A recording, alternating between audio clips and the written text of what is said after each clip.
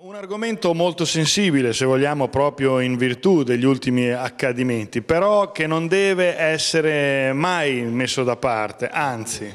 Anzi, proprio per questo abbiamo chiesto ufficialmente attraverso un'interrogazione scritta la situazione del piano di emergenza del nostro comune, del comune di Fano, visto anche appunto gli ultimi accadimenti. Stranamente eh, l'assessore si è scagliato contro di lui in modo anche molto forte, secondo noi del tutto ingiustificato, anche perché noi stiamo svolgendo un ruolo istituzionale, quindi chiedere attraverso un'interrogazione le informazioni ci sembra del tutto normale.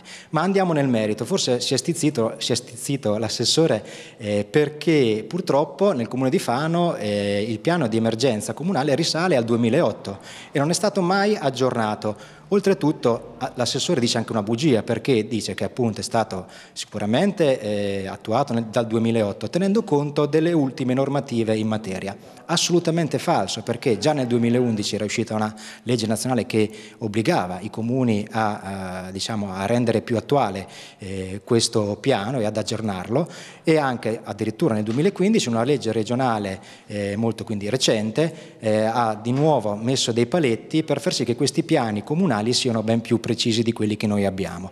Per fare solo degli esempi, ad esempio nel nostro piano eh, di emergenza è ancora compresa la frazione di Marotta. Eh, oppure il centro operativo comunale è nella cartina messo in un punto dove oggi non è più.